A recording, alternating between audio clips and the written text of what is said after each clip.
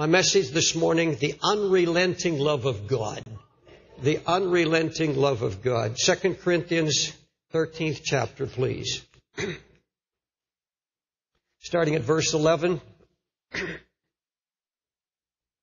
Finally, brethren, farewell. Be perfect, be of good comfort, be of one mind, live in peace. And the God of love and peace shall be with you. Greet one another with a holy kiss. All the saints salute you. Now here's my text. The grace of the Lord Jesus Christ, the love of God, communion of the Holy Ghost be with you all. Amen. Father, I thank you for your unrelenting love. I thank you, Lord Jesus, for the word of truth that sets men free. And I humble myself before you. And I ask you, Holy Spirit, to take every word that you've given me and anoint it now. Without the anointing, it's a dead letter. And I ask you to anoint me with your Holy Spirit. I've been with you, Lord, and I know you have placed this on my heart. You've opened my mind to this. And I pray that you would give us an understanding of the love of God today. Lord, we've heard about it. We've tried to understand it, but we do not yet fully understand the uh, magnitude and the glory of your love for this world and for your people especially. And we ask you now to open our hearts and our minds to receive it. In Jesus' name I pray. Amen. Unrelenting love of God. This word unrelenting means that which does not diminish in intensity and effort. It cannot be diminished. It means it's unyielding. It's not capable of being persuaded by arguments. Not capable of being changed. It's uncompromising. In other words, it's sticking to a determined course. And what a marvelous description of the love of God. The marvelous description. Nothing can diminish or hinder his loving pursuit of both sinners and saints. Nothing can hinder him in his pursuit of love for his people. David the psalmist expressed it this way. God, you have beset me behind and before. In other words, you've closed me in. You've hedged me in. Whither shall I go from thy spirit? Where shall I flee from thy presence? If I ascend up to heaven, or if I make my bed in hell, behold, thou art there. David's talking about his lifestyle, the times in his life when he was very high, feeling good. He's talking about having such lows that it's like a living hell. If I make my bed in hell. If that's my human condition, sometimes my human condition is, is I, everything is going fine. Everything is alright. There are other times that I am so low. I feel unworthy. I feel condemned. And he's talking about literally uh, experiencing a hellish uh, manifestation in his life. And yet he said, I can't get away from your presence. I can't get away from your love. You're still pursuing me. no matter where I go, no matter how I've drifted away, no matter my human condition, you are there. Your love is unrelenting. I can't chase you away. You don't even accept my arguments against or, or why you shouldn't love me. You find that all through the writings of David through the Psalms. God, even when I argue with you that I'm unworthy, that I've sinned against grace. Now, David sinned incredibly against, uh, he, he had godly men who were mentoring him. He, he had the Holy Spirit ministering to him. He had the law. He loved the Word of God. He said it was a lamp to his feet. And in spite of all of this, David sins grievously against God. you know the story of David's sin. You know how he lusted after another man's wife and how he got her pregnant and then to cover up his sin, he brings her husband home from the battlefield and gets him drunk trying to get him back into his wife's bed. And when that failed, he connives the, uh, with uh, the leader of his army to have the man killed. And Bathsheba's husband Uriah is killed, literally murdered, sent into a hopeless situation on the battlefield. And God said, it was a grievous, evil thing that you've done, David. And he sent the, the thing David had done, the scripture said, displeased the Lord. God sent the prophet Nathan to him and he said, you have despised the word of the Lord. You've given great occasion to the enemies of the Lord to blaspheme. Now God disciplined David for his sin. You can be sure, no matter what your past has been or your experience of the Lord, how deep you've been in Christ, how you've walked with God, when you sin against the light, you're going to, you're going to be disciplined. Whom the Lord loves, He disciplines. And David is disciplined. The baby died. And it grieved David's heart. But God never abandoned. He, he, he kept pursuing David with his love. Bathsheba gives birth to a son. And the scripture says, and David called his name Solomon. And the Lord loved him. He loved Solomon, he loved David. God's love was unabated, still unrelentlessly chasing after him, expressing his love at all times. You find it all through the scripture.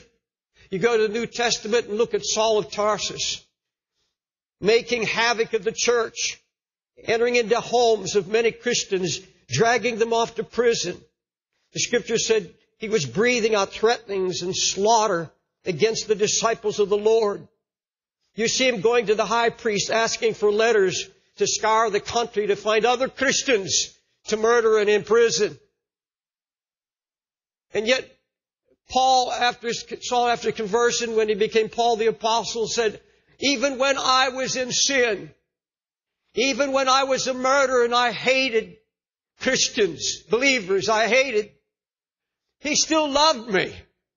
Here's the scripture. But God demonstrates His love toward us in that while we were yet sinners, Christ died for us.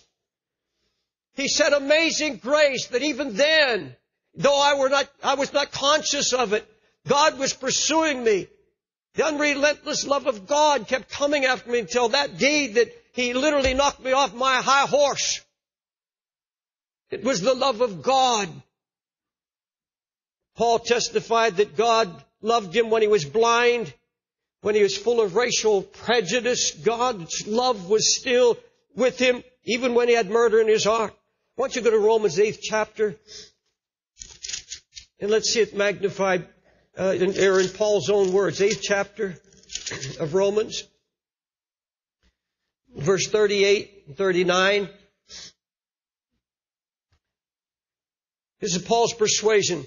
For I am persuaded, this is Romans 8, 38, I'm persuaded that neither death, nor life, nor angels, or principalities, nor powers, things present or things to come, not height, not depth, nor any other creature shall be able to separate us from the love of God which is in Christ Jesus. Paul said, He loved me before I was a believer. No, He didn't wink at my sin. Yes, I've understood His chastening hand. But God never stopped loving me. He never stopped pursuing me. And He said, now that I am His, there is no devil, there is no demon, there is no principality, there's no power. There is nothing that can separate me from the love of God. There's nothing that can stop God from loving me. Please hear what the Spirit's saying. Nothing can separate you from His relentless love. We find that almost impossible to believe. When we sin and fail God, we lose the sense of His love, and then when anything bad happens to us, we say, God's whipping me. God's angry at me. There, there's a problem here and a trouble here and something else breaks out and we say, well, and, and really what we're saying, God has stopped loving me because there's some failure in my life. I, I, I have displeased Him. He's angry at me. Or we blame it at the devil. Of course, the devil is active in this way many, many occasions, but you see, all of these things that happen around you do not affect, it's not a result, it's not always the result of, of, of God turning against you. Not at all. It's, it's that we're not comprehending His love. We're not understanding that God still pursues no matter what the trouble, no matter what we're going through, He continues and relentlessly pursue both saint and sinner. Paul wrote, oh, by the way, I don't believe you can face what's coming. All the terrors that are now existing in the world and, and all of the things that are ahead of us, both in your personal life and in the world scene, I don't know how you're going to make it until you are convinced God loves you. How can you make it? If, if, if you have to live under this sense that God is angry at you and that somehow God doesn't love you because you're unworthy, you're unfaithful, and there's, you're still struggling with sin, and you feel that God is, there's no way God could love me. There's no way a holy, just God could love me the way I am. And if you have to live under that, you'll never make it. It'll tear you down. It'll lead to a nervous breakdown. It can lead to insanity. The thing that keeps, the thing that keeps us sane in this day, the thing that keeps us with hope and joy in our heart is that we are convinced that God loves me. God loves me. Paul wrote two epistles to the Corinthian church, 1 Corinthians, 2 Corinthians. And in one sentence now, at the end of the last book, the text that I've just read to you, he says, the grace of the Lord Jesus Christ, the love of God, and the communion of the Holy Ghost be with you all. Now, this verse has been used as a benediction. It's, it's used as a benediction when a service is closed usually. Now may the, the now, now may the grace of God, the love of God, and the communion of the Holy Ghost be with you now and forever. That's a benediction. No, it's not a benediction.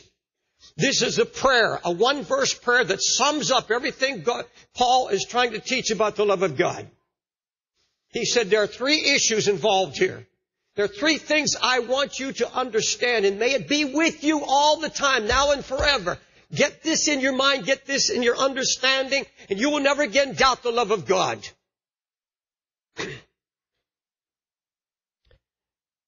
this one verse prayer deals with these three divine issues, and I want to talk to you about them. Let's start with the grace of God. Just what is grace? Now, now we know whatever it is, the scripture said it's to teach us to deny ungodliness, worldly lust, live soberly, righteously in this present world. How do I reach this place that says the Holy Ghost is going to teach, or grace is going to teach me how to deny ungodliness and worldly lust? What is that teaching? Holy Ghost, you're my teacher. Give me. This is a foundational truth. What, what is it now? You're saying that if I have grace, if I understand the grace of God, this is going to teach me how to live a holy, godly life. I want to live a holy, godly life, so Holy Spirit, what is the teaching? What is the foundation of grace? You find it in 2 Corinthians, don't turn there, but 2 Corinthians 8, 9. 8th chapter, verse 9. For you know the grace of our Lord Jesus Christ, that though he was rich, yet for your sakes he became poor, that you through his poverty might be made rich. He said, now you want to know what the grace of God is? The grace of the Lord Jesus Christ? He said he gave up his riches, became poor, that you and I may become rich. Now I can bring up so many, I'll bring up numerous scriptures that prove that this is not material riches. In fact, the material, to those who are materially rich without Christ, especially, are those who pursue riches or those who have a love of money, which is the root of all evil. Uh, how, how would he suggest that this is, that he, he's going to bless you with the root of all evil? No, the scripture is full of spiritual riches. Paul speaks of the riches of his glory the riches of wisdom and riches of grace, unsearchable riches of God in Christ Jesus, true riches as against the deceitfulness of riches of the world, rich in good works, rich in faith, rich in mercy. Here's what it is. Here's what Paul's saying, summing it all up. Jesus Christ came in this world to bless, edify, and build up others at his own expense. He came to show and manifest this very character of God. Jesus didn't come to magnify himself, to glorify himself as a human being. It's all through the scripture. He gave, when he came up, he surrendered the, the privilege of this capital I, me or mine. The capital I, in other words, emphasis on me and my blessings and me personally. He gave up every opportunity to pray down blessings upon himself at the expense of others. How many, how many of us lack this grace? We can't see other people blessed. We can't under, we can't really rejoice when somebody else gets ahead of us. A neighbor gets a car so far beyond yours, puts in a swimming pool, and you can hardly pay your bills. Bring it into the church, bring it into the body of Christ. And you see God blessing others with spiritual gifts and He's honoring them. He's doing something special with them. Are you able to rejoice in that? Are you able truly and honestly to say, I am glad, I rejoice in this. God bless them. You see somebody being blessed in their home and their marriage and their children. Their children are becoming very blessed. You know, they're, they're and, and, for pastors, this is especially a, a needed grace. Oh, how this is needed for pastors who see a friend or a neighbor pastor somewhere just taking off with the blessings of God apparently. God just poured His blessings on and here I am, this man is struggling in prayer and he doesn't see and he's not yet seen the fullness of blessing in his own life. But all the grace, the grace to be able, to be able to Continue in what you feel is your spiritual poverty and rejoice in the riches and blessings of others. This is the grace he's talking about that he wanted the Corinthian church, the Corinthian people to experience. Christ didn't come to glory in his achievements, his power, his ability. He came to build up the body. He would hear his disciples glory in his miracles and he would back off and say, Oh, you're going to do far more than me. He said, when I'm gone, greater works than these are you're going to do. You see, he was already rejoicing in the greater works that his subordinates will experience. And when the report came back that his disciples were going everywhere and the demons were subject and they were doing these great miracles, multiplied more than Christ himself had ever achieved up to that time, and Jesus danced with joy. Oh God, I want to know that grace. The grace of God. This unrelenting love of God in Christ is preferring others above yourself. Let love be without hypocrisy. Be kindly affection, affectioned one to another in honor, preferring one another. In honor, prefer those around you. Now, in 1 Corinthians, you find very little of that kind of grace. Very little of that grace is in 1 Corinthians. Read it through and you'll see what I mean. Instead, you find competition in the things of God. You find men glorying in spiritual gifts, a church full of self-exaltation, you find Christians jostling for position. It's all there. They're going to court, suing one another. They're self-seeking, self-important. Even at the communion table, they were strutting with pride at their, and arrogance at all of the, the special foods and exotic things they were bringing to the table, while the poor around them had nothing. It was all contrary to the grace that Paul was preaching. First Corinthians is stamped with an immense I, me, mine, taking and not giving. God knew their hearts. He knew all about it. He knew the fornication, the incest. He, he, he knew all this is going on in the church at Corinth. In fact, even today, when you talk about uh, carnality, you think of the Corinthian church. Even today, that is stamped with the mark of carnality.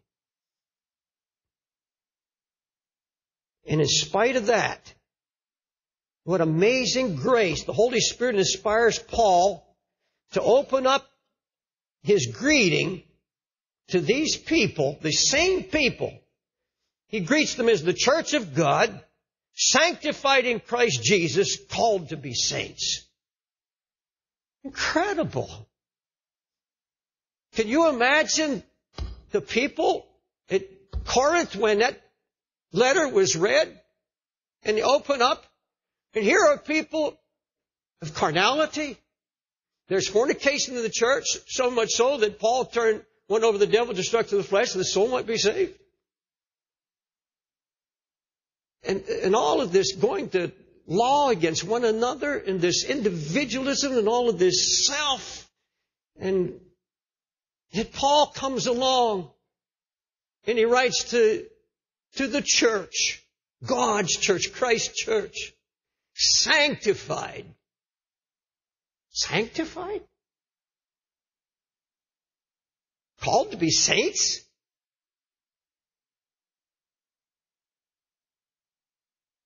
Paul is under divine inspiration. Is God winking at their sin? No. But God knows they have no resources to fight their sin. Because there's carnality. They are not in a position, they are not understanding the love of God and the love of God. God on His own, it's unmerited, unconditional love that He comes to these people and He said, you're still my children. I call you saints. I call you sanctified. Now, just listen very closely. God is not winking at sin. He is securing His people. There has to be a position contrary to your condition. In other words, if God just, just judged you and I on our condition, we'd be saved one day and unsaved the next day. We'd get saved ten times a day. Backslide ten times a day. You can't understand this until you understand this word position. My position in Christ. Now my condition right now is struggle. My condition that I'm still fighting. I'm still trusting. I, I am not where I should be. There's still weakness and frailty in my flesh. But I gave my heart to Jesus Christ and I trusted His covenant promises. And so He seats me in heavenly places with Christ. That's my position. And God says, I look at you at your position in Christ. Your position in Christ. You claimed that, and when you claimed that, God said, I want you secure, I want you without that fear that I'm giving up on you. And then you come to this. Once you see that, you come to this. You come finally to 1 Corinthians 1.30. But I am in Christ Jesus, who now of God has become my wisdom, my righteousness, my redemption. Now he's become, he set me free of my fears and my bondage. He tells me he still loves me for one reason, that I can now claim his righteousness, his holiness, his purity in my heart. Because he's secured me. He's secured me in his grace. Doesn't mean that I'm not talking about eternal security.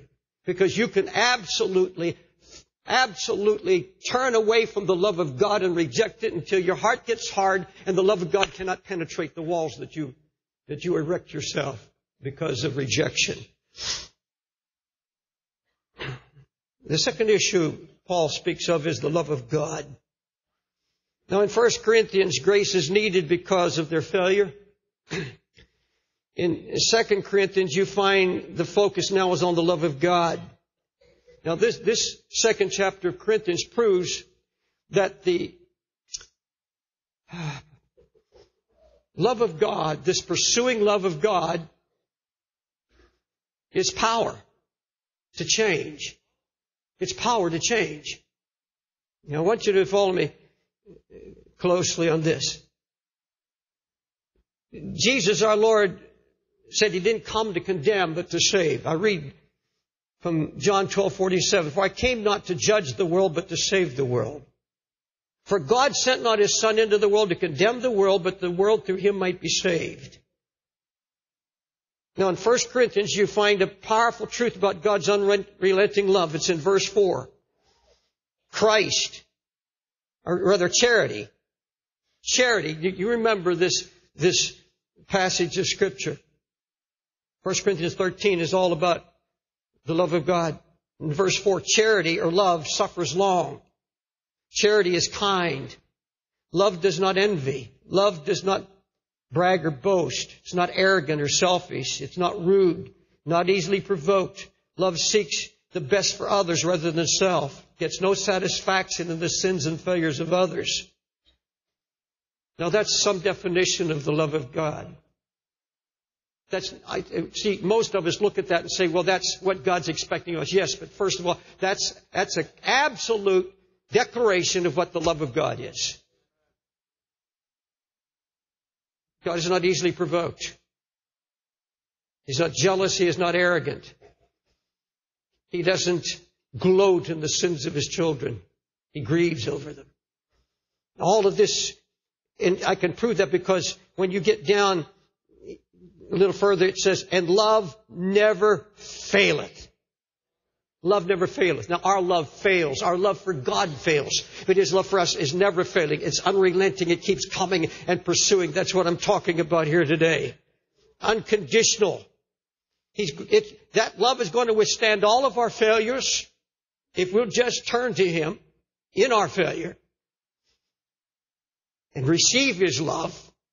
That receiving His love releases the power of God in our lives because His love never fails. Now, I said God's love is a power He gives us, and the revelation of it is the power He gives us to change, that inner power of the Holy Spirit. And it, it is a revelation of the love of God. I, I know now that I can pray about my sins and I can trust God because I know He loves me and I, He, He doesn't remove me from my position in Him. You know, look how it changes Paul, even himself. In 1 Corinthians, Paul had every reason to give up on these people. He had every reason to give up. He, he could have started his letter like this. Dear Corinthians, I wash my hands of you. You're an incorrigible people. The more I love you, the less you love me. You hate me, and all I've done is pour out my life for you. I leave you to your own devices. Go ahead, fight it out. My work's finished. Amen. He had every right, every reason. Because it's true, the more he loved them, the less they loved him. Church full of failure. But Paul had been apprehended by the love of God. He said, how can I not love these people when God loved me even when I was persecuting his body? How could I not do that? And even though he turns a man over the destruction of the flesh that his soul may be saved, he did it in mercy, and then he turns to the man when the man's in despair and says, Now that you have repentance of heart, come back. And oh, yes, he reproved sharply, the scripture says. But he said he did it through tears, and he did it with the gentleness of a nurse. Paul preached the triumph the triumph of the love of God. And these carnal people melted under that message. Can you imagine when that was read to the body and they're looking at each other and here's, here's the man who's suing this man over here and this man's looking at him. Said, saint? He's no saint. He's suing me. And everybody look at the fornicator. A saint? No, no, no, no. We're going to throw him out. I know he, if he continued to sin, he's to be put out of the church. He's to be put out of the body. There's discipline. There's spiritual discipline and there's the discipline of the body of Christ by leadership. But you see, Paul had experienced the love of God. And you know what that kind of preaching did to these people? Absolutely melted and changed them. I told you that the love of God is the power to change. The unrelenting love of God. The revelation of it is the power to change. And here's what the scripture says. You sorrowed unto repentance. Godly repentance. You cleared yourself. You, you became careful. You became indignant over your past sins. You, God put His true love and fear in your heart. You were filled with zeal. You vindicated yourself. In all things, you proved yourself clear and clean before God. Folks, I am so convicted by this. You see, the eye is gone. Immediately after this, the Bible says they began to get a vision of, of those that were in famine and they began to give. They began to collect offerings and giving, not only their money, but themselves. They started giving. No, no longer are they all wrapped up in gifts and signs and wonders and miracles because up to this time, the, the, these people had been so centered in what they wanted for themselves and edifying themselves. But they were transformed by this love this message. Now, fuck, that convicts me because for so many years in my younger ministry and even occasionally in my later years, I've looked on the evil condition of the church and the backslidden condition of many in the ministry. and I've set out with what I thought was a holy zeal to correct it. And I came in like a wild bull with a sledgehammer. And I just started swinging the sword in all directions. Now, if Paul the Apostle had come in to that church and started swinging a sword, if he'd come with a sledgehammer, now the Word of God is a hammer, the Bible says, but it's in the hands of a velvet glove. And I want you to know, if he had gone in, yes, fornication would have been gone, adultery would have been gone, all of these things, they would have probably stopped suing one another, but the church would have dissolved. It would have been gone. Would not have existed anymore. Boy, do I pray for wisdom. Wisdom of the Holy Ghost to come against carnality and sin in a righteous manner. Oh yes, we're, we're to cry out against sin. We're going to have to do it through tears. If, if I stand in this pulpit and I don't weep when I talk about sin in the house of God or in this world, then I'm in hypocrisy. There has to be that brokenness. Do you know why in my early years I preached this in your face kind of preaching? I, I, I, listen to some of my old sermons and I, I, I say, turn it off. I don't want to hear it. I can't have it. I, I, I, no, I, I can't. That's all I knew. But I, looking back, I know why I preached that way because I was not convinced he really loved me. I wasn't convinced of his love. I, I, I thought I'm not worthy of it. I can't live up to his standards. I fail too much. And so how can he love me? How can he love me? So a lot of my crying out was my own agony. This terrible agony that, and, and it brings guilt and condemnation where it shouldn't be. And finally, Paul speaks of the community or, or, the communion of the Holy Ghost. The word communion there in Greek is fellowship, the fellowship of the Holy Ghost. Now, at first, these Corinthians didn't know anything about fellowship. Everything was me. Everything was I. Paul said, each one of you say, I'm of Paul. I'm of Apollos. I'm of Cephas. Paul, but I'm of Christ. And added to that individualism, there was an individual attraction to the gifts of the Spirit. So that there had been evidently such disorder that Paul has to write uh, clearly and explicitly to this body in Corinth saying, look, there's not divine order. He said, you come in and one has a gift of tongues and so he, there, there's four or five messages. Everybody's waiting for the one to sit down so the next one over his message. And here's somebody itching to interpret. Here's somebody over here has a word of wisdom and everybody's coming to church and everybody's gathered together to edify themselves. So that they can leave and say, I had a blessing. I gave a prophecy. I gave a word of wisdom. I, I was mighty in the Spirit today. This was in the church. It was, it was, it was a church full of individuals not connected to each other. Totally disconnected. All kinds of gifts, all kinds of things going on that look spiritual. but it brought great grief to the heart of God.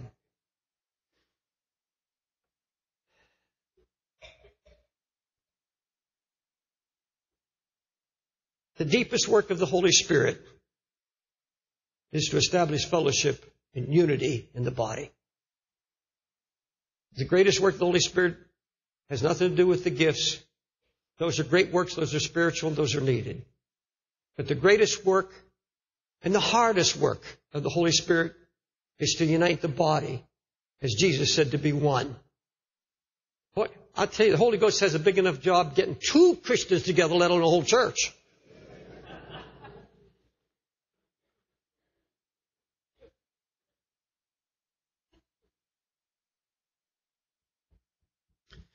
Paul ties this fellowship in to the other two previous issues. He said, if you're going to understand the grace of God, the love of God, it has to bring you together. And I'll tell you what, what brings the body together where there's no jealousy, where nobody is being easily provoked by another, where everybody is rejoicing in the blessing of another, and all these things we've been talking about. When we truly experience the love of God, you don't have to sit here and you see somebody blessed, well, God loves, God loves him more than loves me or loves her more than loves me. And no, you're not comparing yourself with anybody else. You're, you're just anxious to give, to give of yourself. Paul said they, they not only gave of the material things, but they first of all gave themselves.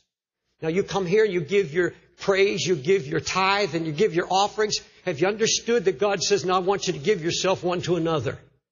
And folks, we're just beginning to see that more and more in this church, how God is making a body, bringing people together of all races, all colors, bringing them down to one blood. Glory be to Jesus. Give me five more minutes. now, having said all this, what's the point?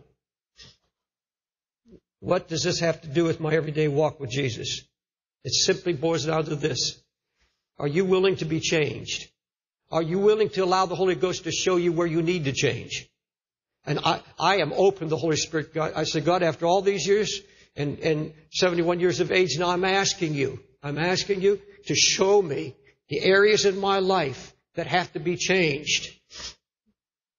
Now I can tell you how much God loves you and loves you unconditionally. He loves you with uh, unrelentingly with His grace. But there has to be a purpose to it. There has to be a purpose to it. It doesn't mean anything if I just tell you God loves you. Because you come to me and say, well, I'm a good man. I, am I'm a good person. I, I, am not into any gross sin. And, and uh, I, I've believed in the Lord Jesus Christ. But you see, we've been born with an Adam nature. And I'm going to tell you something. If you've got a problem today, you, you've got a real problem. I'm going to tell you, it's not a money problem. It's not a family problem. And it's usually not a lust problem. It's an old nature problem. It's the old nature in us. And we're constantly trying to change that old nature. We're trying to do something. We're trying to improve it. I'm going to tell you something. Your old nature, your flesh is always going to be flesh and you can't change it. It's beyond redemption. It has to be crucified. And when I say it's crucified, it, I can't do that. It's something I acknowledge that Christ done at Calvary. So I acknowledge, I admit, I say that I cannot in my own flesh please God. I cannot come into the fullness of His grace, His peace, His mercy, and His love. I can't fully understand it. My problem is that I've been fighting against something that I was born with, my nature. We have a sin nature in us. It manifests itself different in every individual. The various kinds of lust that come out, but it's all from this root nature. You can't, re- you can't redo it. God's not interested in redoing your old nature. He's not, listen, my flesh will always be flesh. I don't expect any good thing out of my flesh. I, I don't know any man after the flesh anymore. Listen to me closely, please, because this is the key in the heart of understanding and receiving the revelation of His love and the ultimate goal of His love, the change that we're talking about. He has to give you a new nature, the very nature of Jesus Christ. It's a new nature. The old has to pass away. Now when it says, my, man crucifies, that the flesh is crucified before the Lord, it means that I look at it as, as not being able to help me. I look at it as dead, as having anything to do with my salvation. I can't change it. There will always be flesh. It's always going, if, if the flesh could be changed, then this battle with the Spirit would have ended. And he said, no, there's going to be a battle between the flesh and the Spirit until you die. I'm trying to make this as simple as I can because this is the key to the new covenant. The new covenant is not just about power over sin. God's been dealing with me so much about this. I can't tame all these promises just for forgiveness and power over sin. Because I can have power over sin by the covenant and still have prejudice in my heart. I can still not come in. He's bringing us out of sin to take us into the promised land. It's something He wants to do about our whole nature, not just about forgiving our sins. You can be sitting here forgiven of your sins and still not loving your brother, not being unity. Because he wants more than just forgiveness. The new covenant has made provision for a new nature. God says, I'll be God to you. And the only condition is faith. Nothing can change me but my faith in His promises. Great and precious promises whereby I'm made a partaker or a sharer of His divine nature. Glory be to God. God loves me to change me into the very image of Jesus Christ. Not only the image of Jesus Christ, but the very character of Jesus Christ coming out in me. And when you get this nature, you don't start with the fullness. Everyone has been given the scriptures in a measure of faith. I used to think that oh, you, the only way you can have faith is if God gives it to you. Well, He's given you already, everyone. Everyone has a measure of faith. The most vile sinner has a measure of faith. You have the capability to believe. You have the capacity to believe. If you believe His promise, that God said, I'll be God to you. I'll be merciful to your sins. And I'll provide every resource you need to fulfill every command that I made of you. Because I love you. So it all comes down to this. Lord Jesus, show me where I need to change. I don't have this kind of grace that Paul's speaking about. If you tell me that you believe God loves you unconditionally, you're confessing that you have in you the power to change by His grace. That's the confession. If you say, think about it a minute. If you say, I know God loves me, you're saying, you're confessing without knowing it, I have the power by the Holy Spirit to be changed. Well, folks, that's it. Will you stand, please?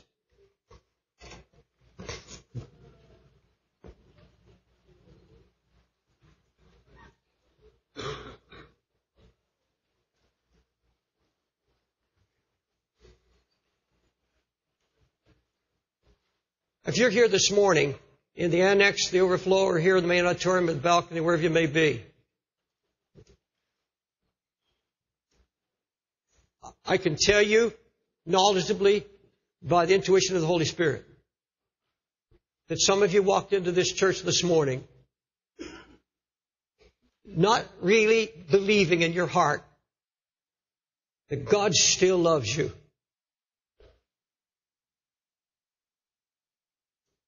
Because of failure, because of something of, of drifting away from Him. Whatever it may be, and you came in here, you're not convinced that God loves you. And, and usually that's the reason people don't pray anymore. That's the reason people give up. Because they've given up on this, this knowledge. They've given up on this truth that God keeps pursuing in love. The Holy Ghost has been called the hound of heaven. Not to hound you about your sins, but to hound you in love about His mercy and His great love. I'm going to tell you now, He's not mad at you.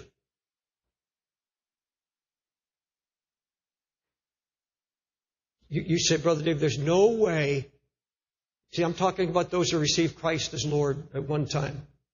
And you're here now. And You're going through a struggle, terrible struggle. You said, There's no way that he could be looking at me and calling me one called to be a saint. He can't look at me and call me sanctified. There's no way.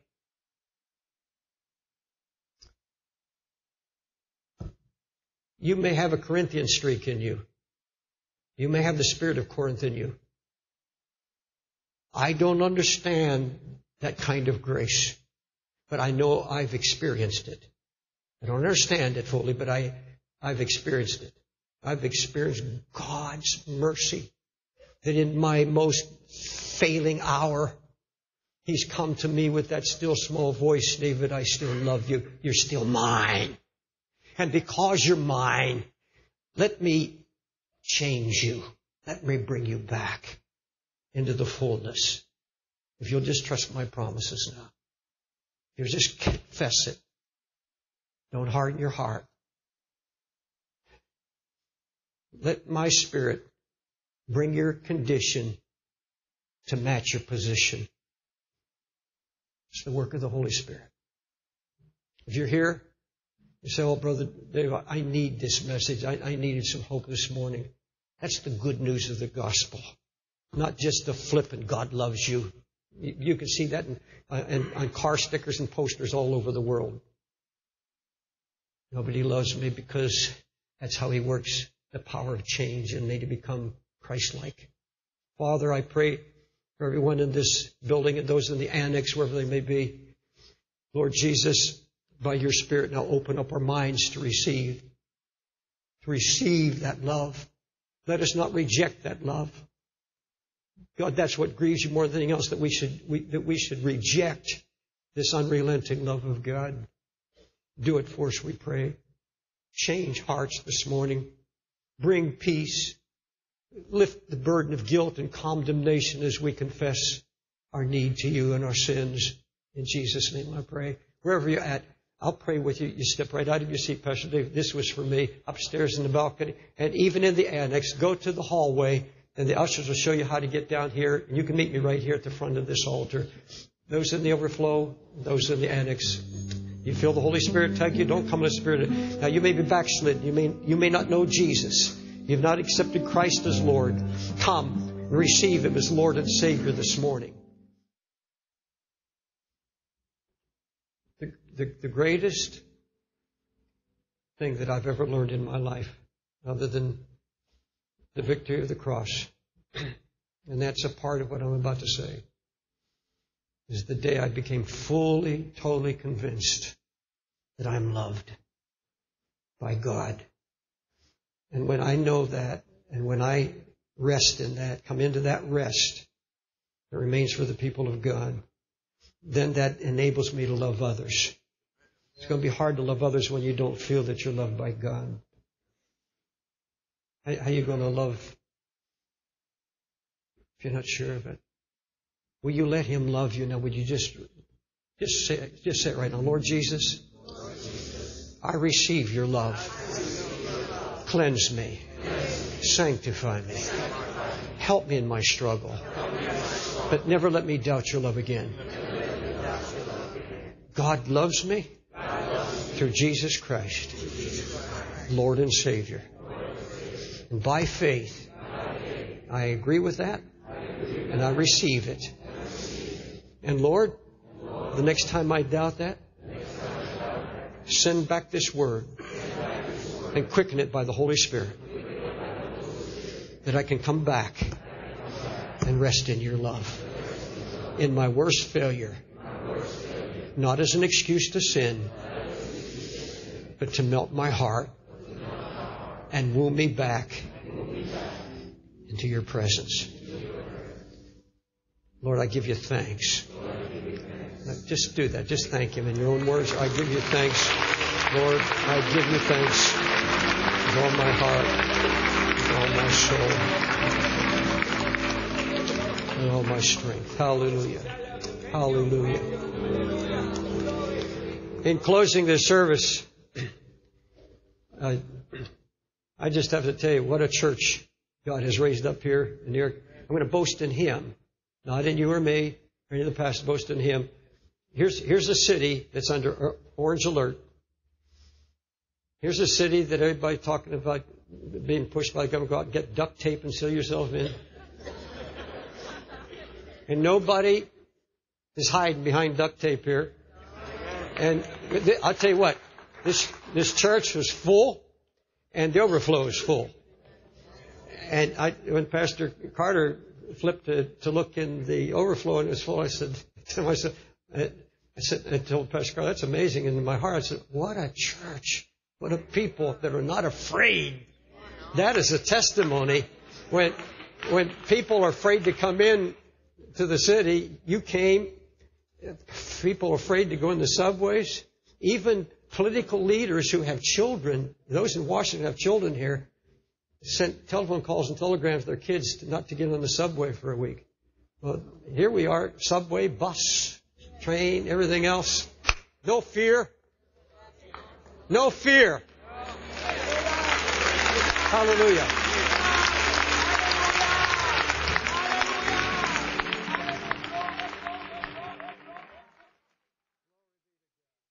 This is the conclusion of the message. I want to talk to you this morning about the, the unreasonableness of faith. Faith is totally illogical, totally unreasonable.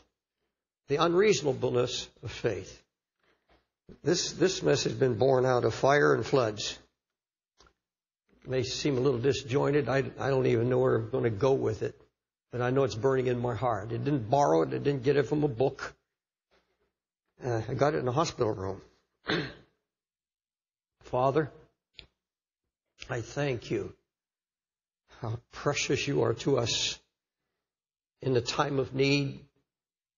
And Father, I I sense and I know in the Spirit that there are many that are here this morning that are going through the testing time of their life. Many that are discouraged to the point of being at wit's end. And Lord, I know that you always have a word for us. How faithful you are. Now, Lord, I, I come as your servant and I yield my body, my spirit, my mind, and all to you. Lord, you've been speaking to me in a little hospital room uh, while waiting on my wife and just speaking into my heart something for this body this morning, but mostly for my own heart. And the way you spoke to my heart and, and your great love and mercy and how to get out of despondency, how to get out of uh, the feeling of despair, whatever the enemy may bring into our lives. And we pray this morning that you would speak supernaturally to everyone hearing. We pray in Jesus' name. Amen. you know, when, when God demands of us believe, have faith, He's making the most uh, unreasonable request ever made to mankind. The very definition of faith is unreasonable. We are told that faith is the substance of things hoped for, evidence of things not even seen. there's no, there's no evidence. It's, it's, it's, it's totally beyond logic. And he asks us to believe and to have faith. Now, let's talk about this unreasonableness of faith. You, I'm going to take you into the Old Testament and then into the New Testament and just give you a picture of how unreasonable it is. And then you'll understand a little more about what you're going through and how to face it. At least this is how God delivered me from uh, it's not just this time. We all go through. You know, uh, people that are discouraged, people are going through it, don't live there. God delivers you, and there can be a whole season, a wonderful season when you're free and rejoicing. It's called the good times. Enjoy them because the the discouragement is going to come flooding in again, and usually troubles come in threes and fours and tens and twelves and, and uh, sometimes it never seems to end. But consider the the faith demanded of Noah. When you when you stop and look at this picture, you see how totally illogical it is. There, there's no sense, there's no rhyme, there's no reason given to this man. Here's a generation that's spun out of control completely. a generation of giants that are giving birth to what the Bible calls mighty men. A generation that has gone so violent, God says, I can't handle it anymore. It's beyond uh, my uh, ability to stand with it. It's enough. I'm going to destroy the earth. Uh, I'm going to destroy mankind. And in this time of murder and violence, God comes to this man, Noah, and he says, I, am going to destroy mankind. Their violence has come up before me, and I want you to build an ark. And you've got 120 years yet of mercy. And in that 120 years, I want you to build an ark, and I want you to collect two of all animals on the face of the earth. Now, folks, he had to be collecting that for 120 years. I don't know how long. It may have been the last 20 years after the ark was built. I don't know. But can, can you conceive of how unreasonable a request this is? Uh, and to feed them and to provide uh, food for all of these animals. And he gave, he, he comes to and he gives them the size of it. He gives them the width and the, the length and one door and one window. God speaks to this man and gives him this incredible uh, step of faith. And he's to do this in spite of the fact that there were giants all around him and mighty men, the scripture says. And these were violent men, violent giants, violent people all around him, skeptics. And God says it's going to rain for 40 days and 40 nights, and he had to explain to him what rain was. And for 40 days and 40 nights, there's going to be this cataclysmic event come, and all he is given is a word. Just a word from God. Just directions from God. Just a word. That's what this is. That's what this book is. It's the Word of God. And that's all He's given and He's asked no evidence. No, nothing else. God didn't send an angel down there as an architect in human flesh and, and draw him the design. He gave him the design. He did it all and totally unreasonable. And he was told, believe this. And he was told to keep his heart moved with fear. This whole time, for 120 years, he keeps his heart moved by fear on the sheer Word of God. Nothing else. No other evidence. Nothing. Now folks, when you stop to think of this task and, and how difficult it is, pe- people still believe it's impossible and they mock it. They say there's no such thing as a flood. There, how could he gather animals from all over the earth at that time? And in the face of all this opposition, uh, when giants could have broken through and destroyed, I, I don't know how many times he, he must have been thwarted in every area he turned. How many times were he discouraged? How many times did a voice come to him and say, uh, Noah, what are you doing? This is foolish.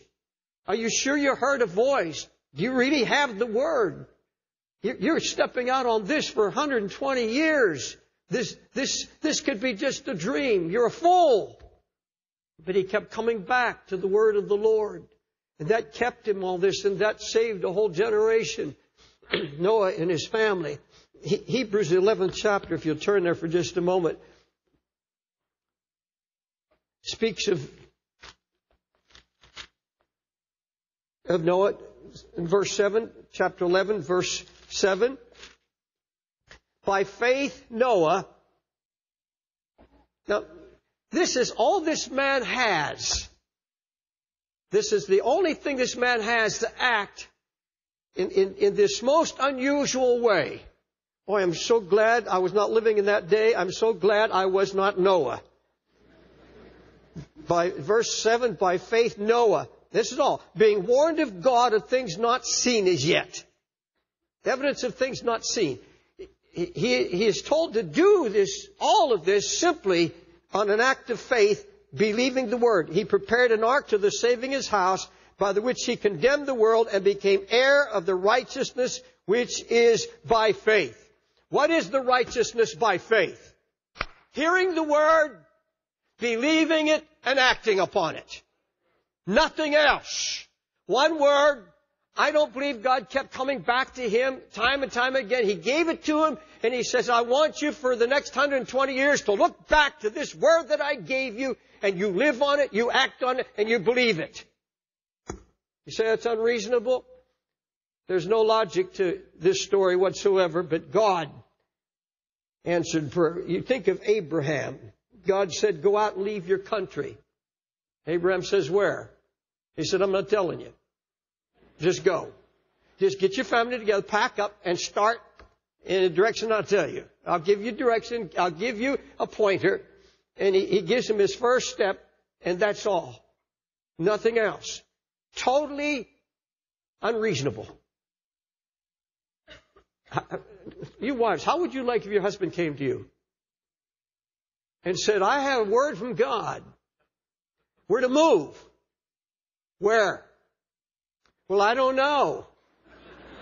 But I want you to pack up. I want you to, we're selling everything. The house goes on sale, the furniture, everything. And we're going to, uh, slim it down and uh, we're going to get a few camels and donkeys and we're going to, we're moving. There's no rhyme or reason to it. It's a step of faith.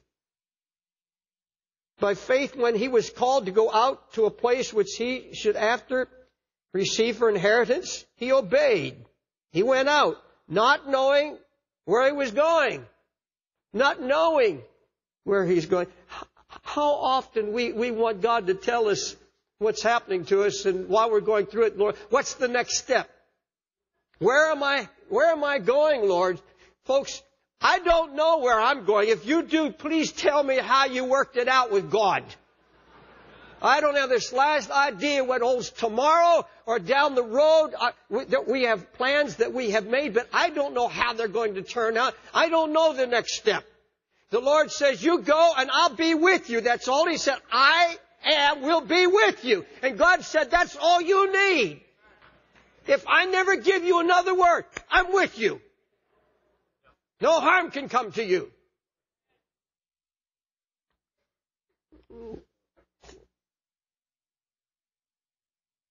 Obedience, he, you know, he takes him out on a starry night and he says, Abraham, look up, see the innumerable stars, number, count them if you can. That's amazing. He stands out in the star. Uh, uh, in those days, we, they didn't have lights. They didn't have electricity. Those nights were dark. And how the the star, the heavens would light up, and he says, Brent, start counting. Start right there in the middle of that big bright star and, and start counting them. Abraham must have sh- shaken his head. I, I remember being down in Marco Island on vacation. I'm standing on a starry night, and I'm thinking about how about God's grace and about what my part is and what God's part is in, in living a righteous life and and I heard a still small voice that David, jump over the moon.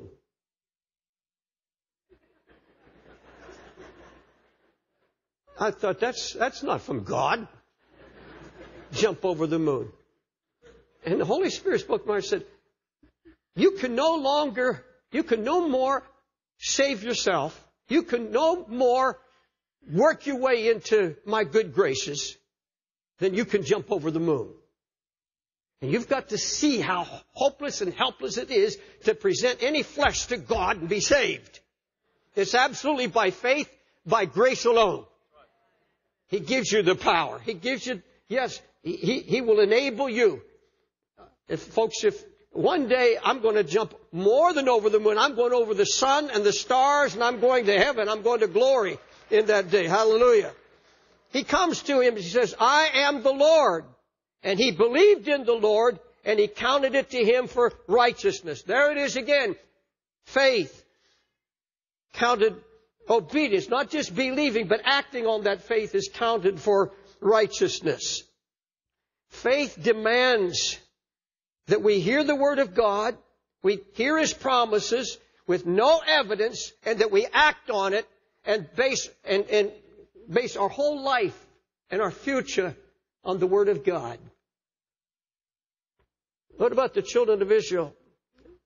Think about the conditions that God brought them into. The Bible says He brought them to this place where there are mountains on both sides and the sea in front of them and chariots from, from Pharaoh rushing down upon them. And you know, I, I look at that scene, it's totally unreasonable to expect, in, in my flesh, when I look at that, I said, God, I, that doesn't seem fair to me. All their children are crying.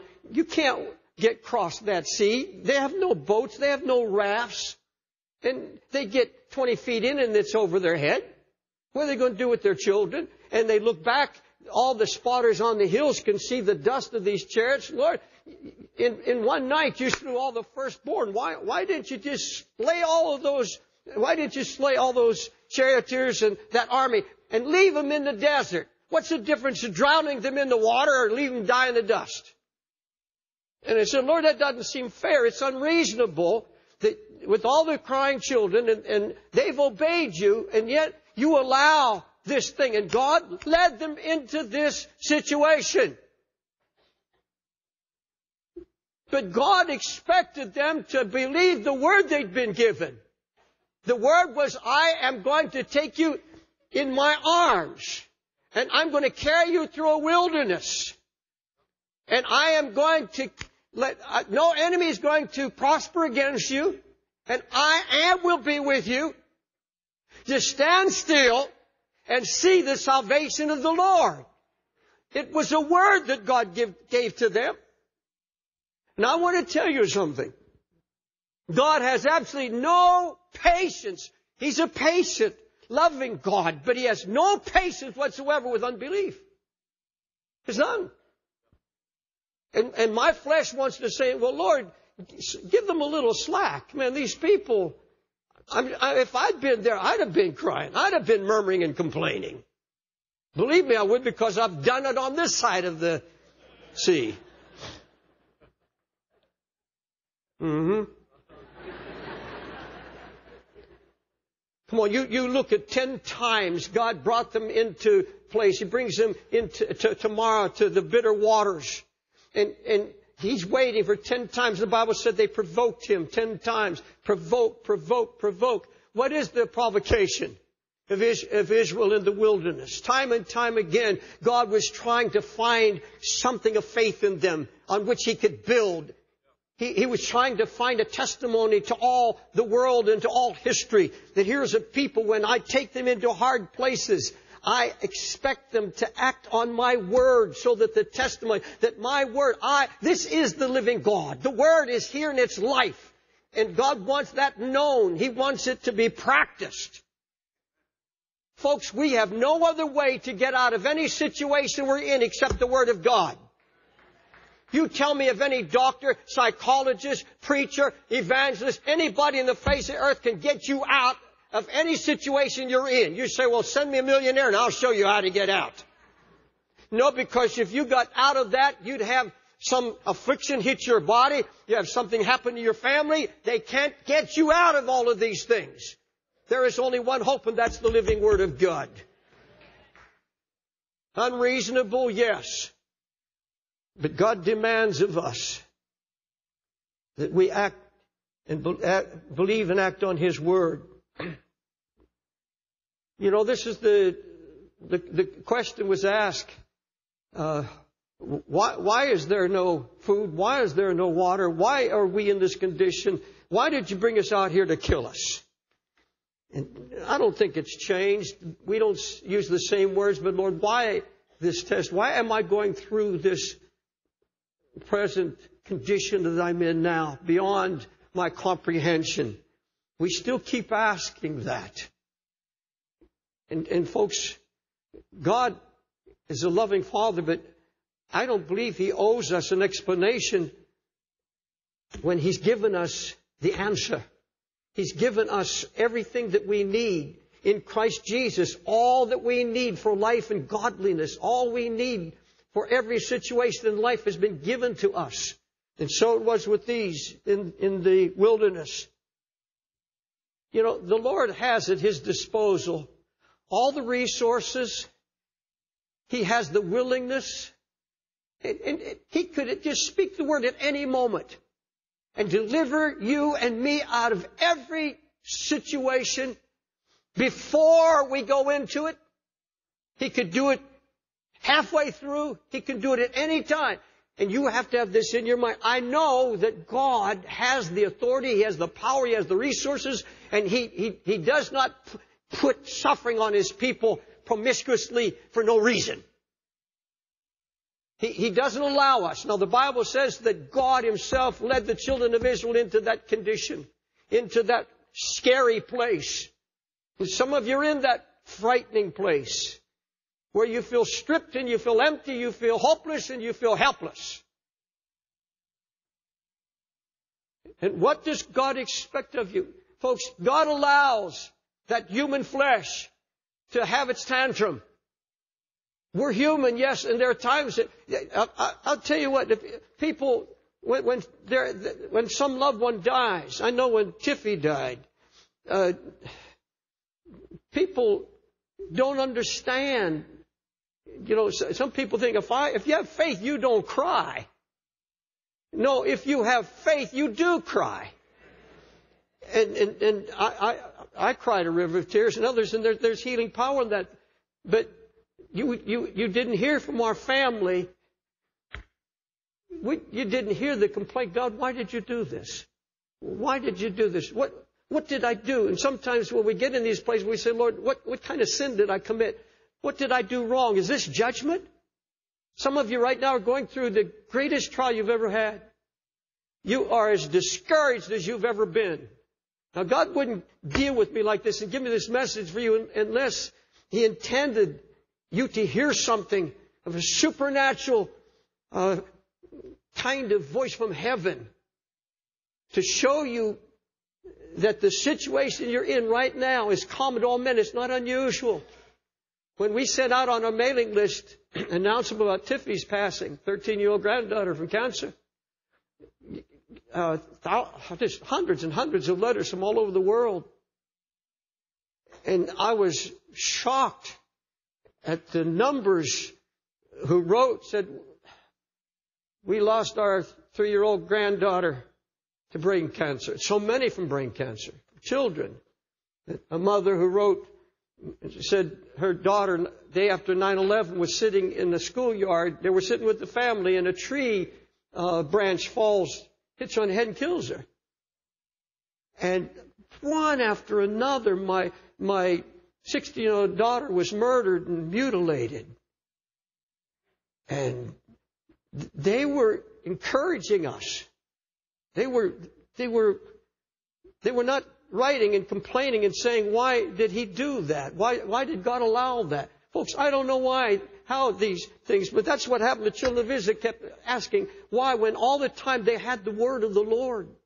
They had all the resources they needed if they would have drawn upon them. If they have really believed what God said.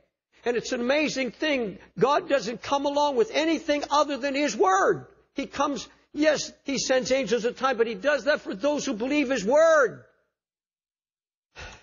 He's, he's not an impatient God. He, he, he allows us to express our, our fears.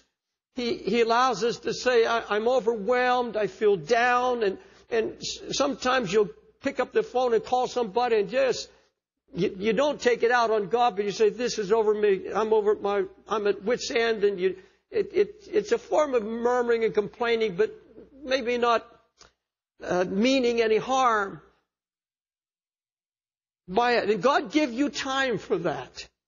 But folks, I'm going to tell you, and I, I, I warn you in the love of God, and I know from the experiences that I've had with a lot of suffering in ministry and in the family.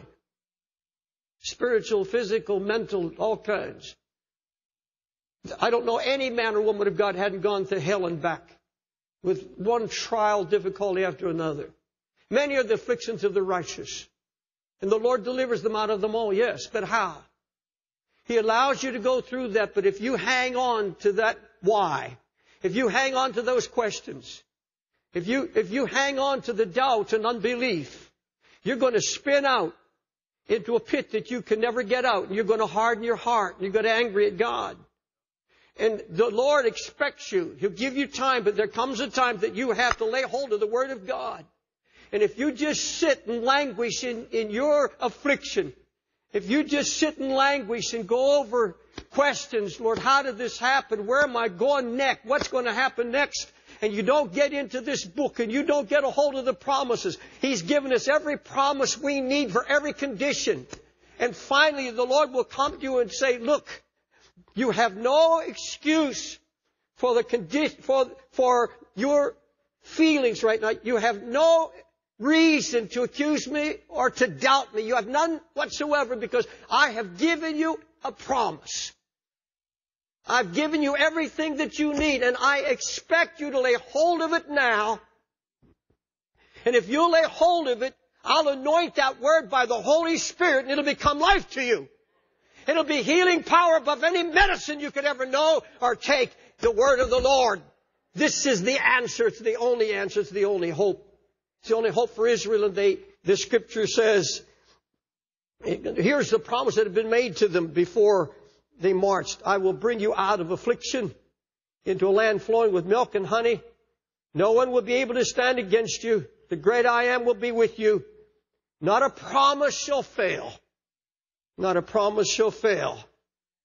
But hear that again. I will bring you out of affliction. I don't know who I'm talking to. But to some of you here this morning that are in great affliction, God's promise to you is, I will bring you out of your affliction. This is going to pass. Every one of those trials, those ten trials of Israel passed. And they ended up, their carcasses lying dead in the wilderness simply because they would not enter in, the scripture says, because of unbelief.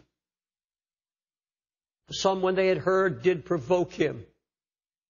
So I swore in my wrath, they shall not enter into my rest. That unbelief aroused the wrath of God to a loving people that were destined to be his witnesses to, for all, all time and into eternity. But they would not go back and remember and stand on the Word of God. They wanted something reasonable. They wanted something they could see and feel and touch. They wanted somebody to spell out their pathway. But that's not faith. Faith, faith is saying, God has given me a promise and I lay hold of that promise and I'm going to live and die on that promise. I'm going to cast my whole life, everything I have on the word of the living God. Hallelujah. With whom was he grieved for 40 years? Was it not with them who had sinned, whose carcasses fell in the wilderness? They believed not. So we see they could not enter into his rest because of unbelief. And folks, you can go into the Bible and from cover to cover in scripture. You find men and women of God going through great troubles and great afflictions. It's all through the Bible. It's all about the afflictions of mankind. The psalmist wrote in his affliction, Why is my soul cast down? Why this restlessness in me, this disquietness in me? He said, Why do I, what do you say? Why do I feel so helpless and so useless in my affliction? Have you ever been there, folks? when you felt helpless and say, I'm not of use to anybody. And that's what came over David. You hear Elijah under a juniper tree begging God to kill him. He's so downcast, he's ready to quit on life and his ministry. Jeremiah cried out, Lord, you've deceived me. And I was deceived. I will no longer mention your name. He said, that's it. I don't understand this, God. And what he was really saying, I've done nothing but seek you, have given my life to you, I've prayed. But I feel now that I've, I have been deceived. Lord, you've deceived me. Because everything that you told me to preach, I don't see any of it happening. I've been made a fool, is what he's saying. Now, God understands that. But I want to show you how these men came out of it and how in the middle of their affliction, the Spirit of God came down, turned the light on and showed them the answer. Remember what David said. David said, Thy words were found, and I consumed them. Uh, uh, uh no, I'm, I'm, sorry. That's uh, David said. Uh, What was it? Jeremiah cried, Lord, thou hast deceived me, and I was deceived, and I will no longer mention his name. In his despair, though, he cried out, Thy words were found, and I did consume them. And thy word was unto me the joy and rejoicing of my heart. For I am called by thy name, O Lord God of hosts. David said, I remembered your word. Elijah said, Lord, your word came back to me.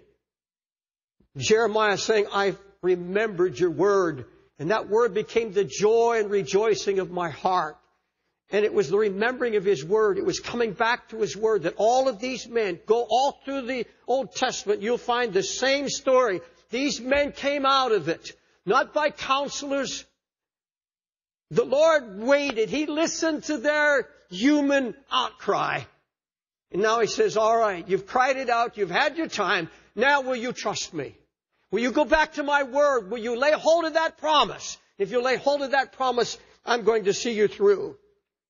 Folks, it doesn't matter how you got into your trial. It doesn't matter how you got discouraged, whether it came from God, whether, whether a situation God has allowed, or whether the devil brought it into your life, or whether it's your flesh. It doesn't matter how or where it came from. The only thing that matters is how you get out of it. And there's no other way out of it but this. Uh, you go to the New Testament and and suddenly you find out what appears to be the most unreasonable demands ever made on mankind. Can you imagine the Jews for, for centuries they've, they've been taught and they've been looking for this Messiah and this Messiah that they believe is coming is coming in majesty and power. He's going to come with an army. It's going to be such a mighty army. He's going to over, uh, he's going to overrule every army on earth. He's going to go into Rome and destroy the Roman Empire and break the yoke of the Romans from their neck. And they anticipate that he's going to make them a prosperous nation, the greatest nation on earth. And this mighty deliverer called the Messiah is going to come and set them free from their poverty and no more pain, no more sickness. And he's going to come in great majesty. Instead, he comes on a donkey. He comes born in a stable. He comes with an unreasonable life history. No earthly father. An immaculate conception. And, and, and here are these Jews that all their lifetime anticipating this kind of Messiah. And here comes this lowly man, this meek, lowly Nazarene. And they say, we know who his father is. We know his mother. He's a carpenter. And he's calling himself God in flesh. Folks, it was the most unreasonable thing to expect from these people faith. How do you believe a, a, somebody that's fixing your dining room table is God? How do you believe that this man now here in Jerusalem, Gamaliel sits with hundreds of young, brilliant scholars, and here are the scribes, the brilliant men of the day, and they're teaching in palaces. And here is the man who cries he's the Messiah, and he's out by the river or in a hillside teaching the poor and the lepers and the lame. And he's saying, believe in me, I'm God in flesh. You hear this man saying, unless you eat my body and drink my blood, you can't get to heaven. And they've been spending all these years working themselves to heaven with 663 rules and regulations. And he comes along and said, just trust me. I'm from the Father. If you see me, you've seen the Father. If you don't believe in me, you don't believe in God. How, you think that if you were there, you would have, oh, thank you, Jesus. I, you are my Lord and my Savior. No, no, no, no. Now you stop and think about this for a minute. The absolute illogic, the absolute unreasonableness of the demands of faith. This man does miracles. And they don't believe him. The miracles, he said, at least believe me for the miracle's sake, but they won't believe it. And, and, and Jesus says, I am the living Son of God. No man comes to the Father except by me. Now you go into the temple and you watch him rush into that temple with cords and he's driving out the money changers and they're saying, he won't even tell us where he got the authority to do this. We don't know who he is.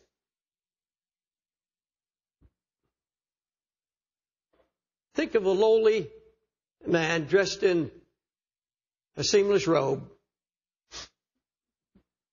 And picture this as a synagogue without the electricity and, and all the finery we have here. And a man walks in. A man walks in and he picks up the Torah and he opens start reading from Isaiah about the coming of the Messiah. And he closes the book. He says, I'm that man. And the Lord says, believe it. The Pharisees are crying out, unreasonable. The, the, the Pharisees are, he said, he that heareth my word and believeth on me shall have everlasting life. And the Pharisees cry out, you bear record of yourself. Your record isn't true. In other words, you're telling us that we're to believe just your word to take you at your word. Get this. So I won't over preach you.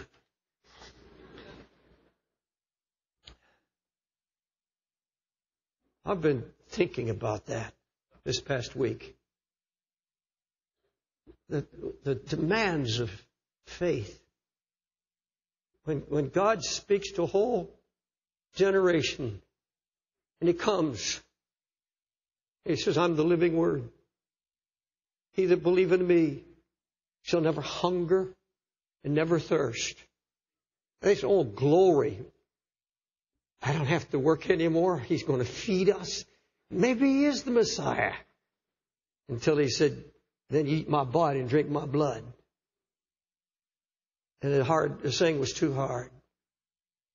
How do you believe this when you can't comprehend? Jesus said, I bear record of myself, yes, yet my record or my word is true.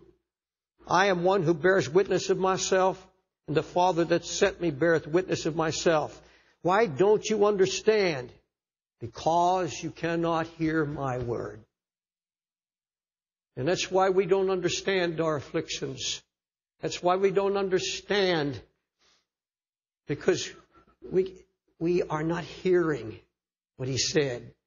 In, in our despair, in our hard times, we, we, we go down and, and, and uh, lay down in that despair and just question. And we let this drag on and on and on when all you need to do is you don't even have to get on your knees. Just say, Oh, Holy Spirit, you said that that's the life. These words are life. And they're hope. And you go to the Psalms if you have to. Go into His Word. Don't just open it up and say, Holy Ghost, lead me. Start in the first chapter in Psalm and start reading it, mark it, and, and, and let God speak to you by His Word. And that's the only hope. Folks, it, we, we are living in a time, I'm going to close in just a moment. We're living in a time of the greatest revelation of the gospel in the history of mankind. We, we have more teachers, we have more supplies, we have more literature, we have more help books. We, we have, we're not, there's not a famine of the preaching of the word, there's a famine of hearing and obeying the word of God, but there's not a famine of preaching. There, there is powerful preaching all over the world today. Uh, in, everywhere we go, in any land, you'll find powerful preaching, anointed preaching. You'll find those who've been shut in with God. And yet we, there's never been more distress. There's never been any more uh, affliction, mental, physical, and spiritual. Never in history, in spite of all of the Word of God. You know, amazing thing. Pastors today, and I know, and, and God's been speaking to my heart about this. And you, I'm, I'm going to wrap this up now. Now I want you to listen closely. Pastors now are, are having to spend almost all their time praying and getting messages to try to pick people up, pick their chin off the ground. How, how, to conquer fear, how to do this, and, and five points to do this, and five steps to this, and, and how to deal with, with affliction and despair, and all of these things helps. All, oh, lifting up. Folks, there's nothing wrong with that. But you see, the, the real problem, the real issue is this. He has already given us a word. It's here, it's finished. And God expected it out of Israel. He expected it out of the Jews. And He expects it out of you. And He expects it out of me. That I don't need a preacher coming to me with steps. I don't need somebody trying to just keep propping me up. Trying to bring me some human source of encouragement. I have got to believe what God said and I have to take quality time and get here and study the Word until I bring out of it a message of hope.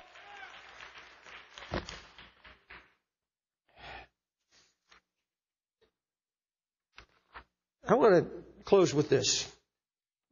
Five more minutes. I want to give you an imagined conversation between the Lord and uh, I'll call this man discouraged Christian. Little conversation. Get your Bible out. Put it on your lap and open to Psalm 33, uh, Psalm 32.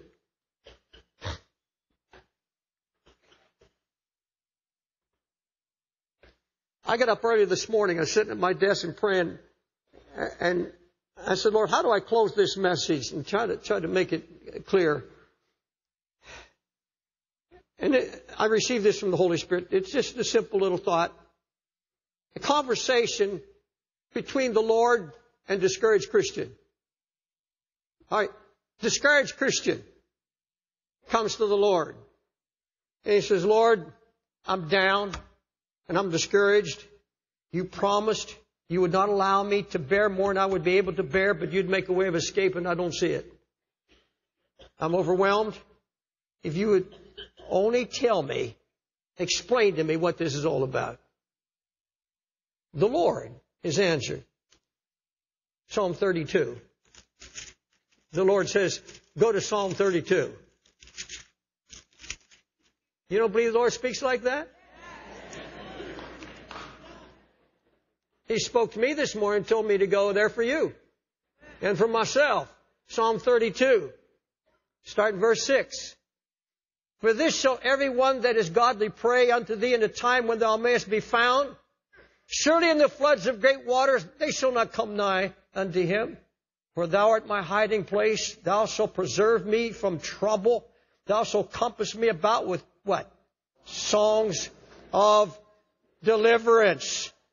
I will instruct thee and teach thee in the way which thou shalt go. I will guide thee with mine eye. And folks, I want you to see that he, the deliverance is on the way. But the Lord said, I'm instructing you in this process. I'm guiding you into a new way. But don't be as the horse or as the mule which has no understanding, whose mouth must be held in with bit and bridle, lest they come near unto thee. Many sorrows shall be to the wicked, but he that trusteth in the Lord, mercy shall compass him about. All right, we're talking about somebody in affliction. What's it say? Be glad in the Lord and rejoice ye righteous and shout for joy all ye who are upright in heart. You say, unreasonable. I'm hurting. I'm in affliction. Rejoice, be glad and shout. Yes, because I am is on the throne.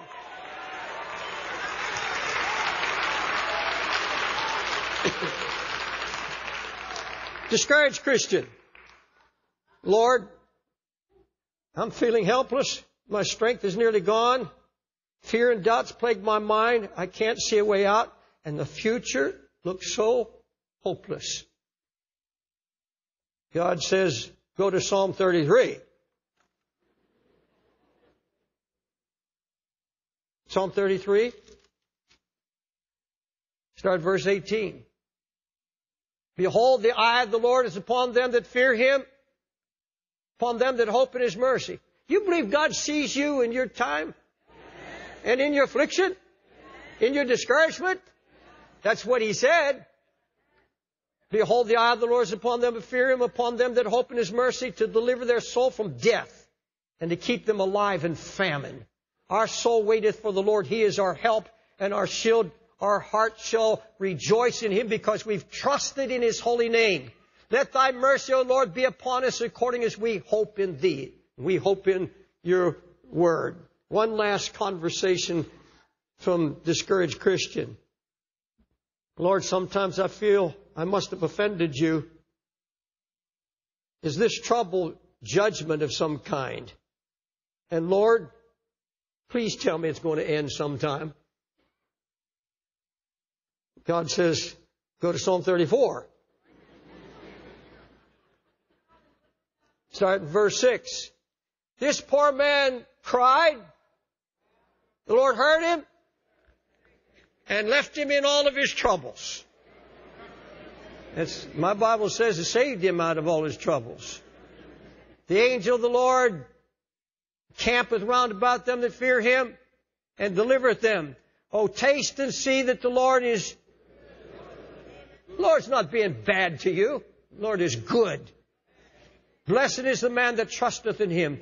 Fear the Lord, ye his saints, for there's no lack or no want to them that fear him.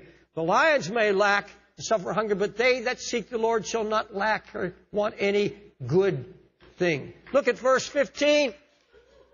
The eyes of the Lord are upon the righteous. And quote it with me. His ears are open unto the cry. Verse 17 out loud. The righteous cry, the Lord heareth and delivereth them out of all their troubles. The Lord is nigh unto them of a broken heart, save such as of a contrite spirit. Many are the afflictions of the righteous, but the Lord delivereth him out of them all. Let's stand. Hallelujah.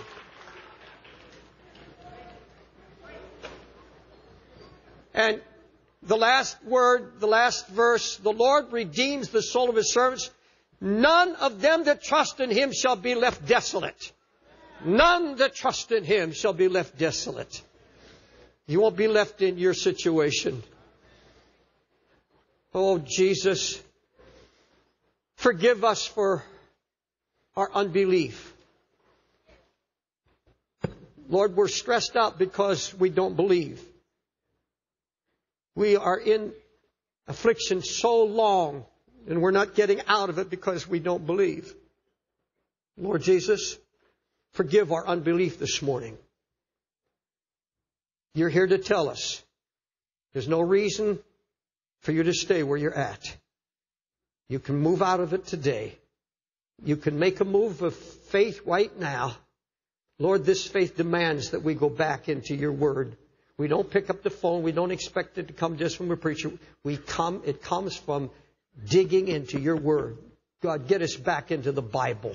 Get us back into the word so that we can have the resources we need in time of trouble. Glory be to God. Thank you, Jesus, for your love this morning.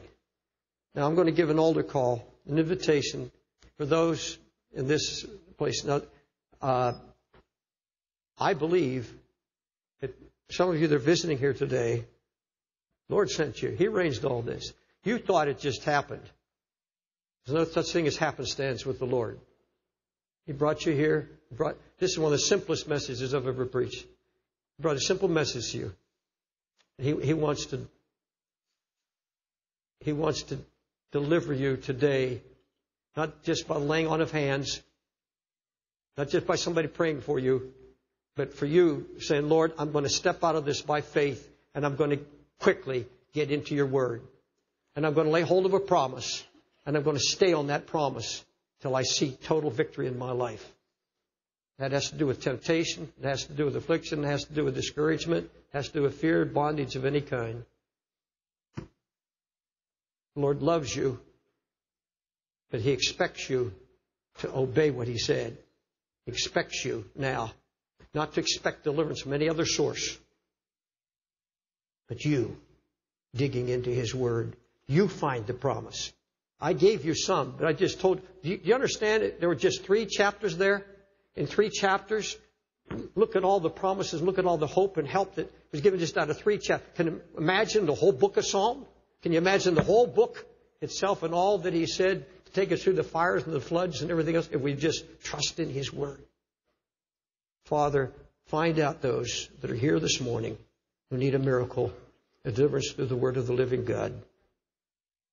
Now, if you're here this morning, and I'm going to narrow it down, otherwise, we'll just have the whole audience come.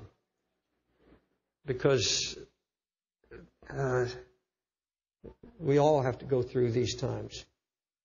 But if you're here this morning, and I, the Bible calls it wit's end, means I can't go any further. I'm as discouraged as I've ever been, and I need the Holy Spirit to touch me today and lay this.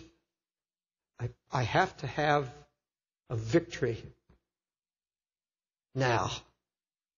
I want you to step out of your seat and come and stand here. We're going to believe God for you right now. Up in the balcony, go to the stairs on either side. Say, Brother Wilkerson, this message was for me. I had to have this today. Now, not just those who are here for the first time, but those who come to this church, you're welcome to join these. If you're not right with God, if you've been running from the Lord, follow these that are coming. Nobody needs to know why you're coming. But you can come boldly to the throne of grace now and receive mercy. You step out and you believe the Lord right now. But don't come unless you say, I'm going to believe God's word. I'm going to step out in faith and lay hold of God's word. And in the annex and in the overflow rooms, you come from the overflow rooms into the big room and just move forward, stand between the screens, and I'll pray for you in just a moment. Step out. You've, you've got to identify this to yourself and to God. It's not just, there, there's a reason for stepping out, and that's saying, I'm taking a step of faith. I want you to take that step right now. I, I asked the Lord to give me a word.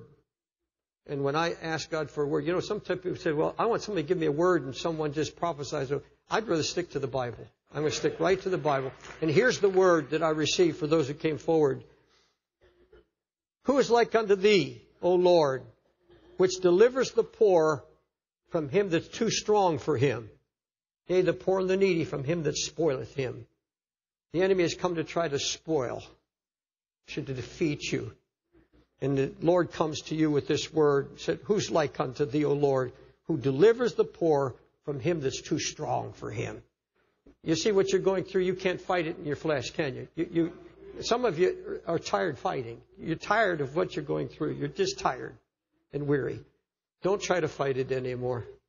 Because you say, He said He's stronger than all my enemies. He's stronger than the forces of hell all demonic powers that come against me.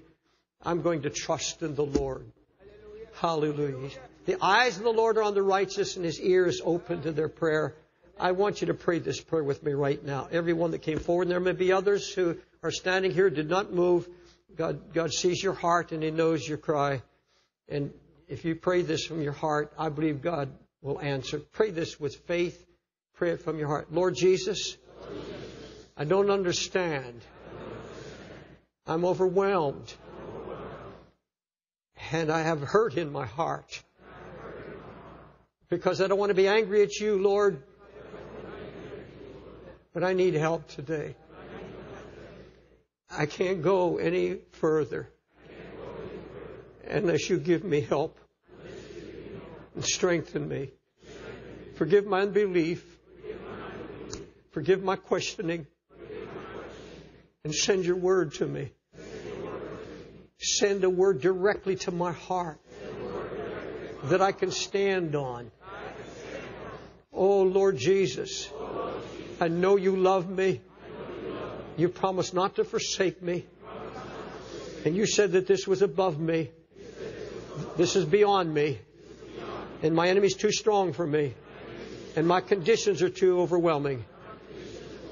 But I come as a child to say, Lord Jesus, Restore my confidence, my faith in your love and in your promise to keep me and protect me and forgive me. Now let me pray for you. Father, I believe your word. This is how you have brought me out time and time again. Every affliction, every discouragement. Lord, you have sent your word to me. You, you've told me that prayer was not enough. You can pray for hours. You can cry for hours, but until you stand on the word and believe it, nothing's going to happen. Lord, that prayer and all of our devotion, all of our times seeking you in intimacy has to end up in this. For without faith, it's impossible to please God. And they that come to him must believe that he is, and he's a rewarder of those who diligently seek him. But without faith, we can't please you. Not our tears, nothing else. So we come now and say, Lord, I believe. Lord, I believe your word. Hallelujah. Now, how does God send his word to you? You take the first step. You've got to get this book open. You find some quality time. Turn off the television, turn off the radio, turn off everything.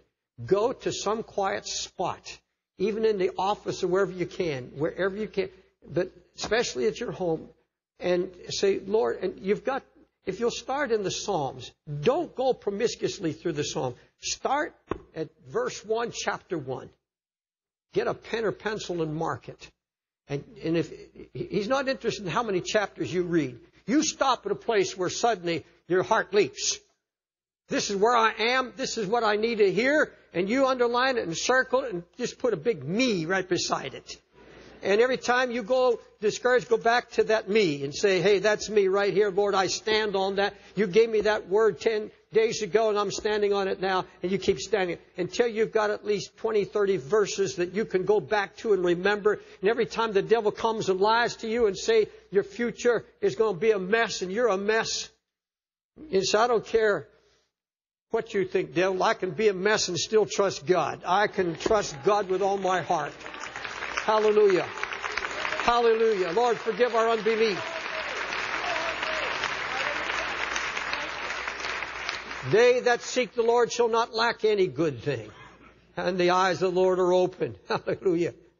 The Lord is near to those of a broken heart, and He saves those of a contrite spirit.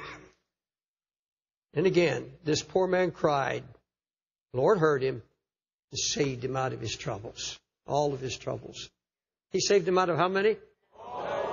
All I want you to just raise your hands and thank God for His goodness to you right now. Lord, we, we raise our hands and say, Thank you, Lord. Thank you, Jesus. Lord, I believe. Help my unbelief. Help my unbelief. Thank you for your precious word, Jesus. Thank you for your precious word. This is the conclusion of the message.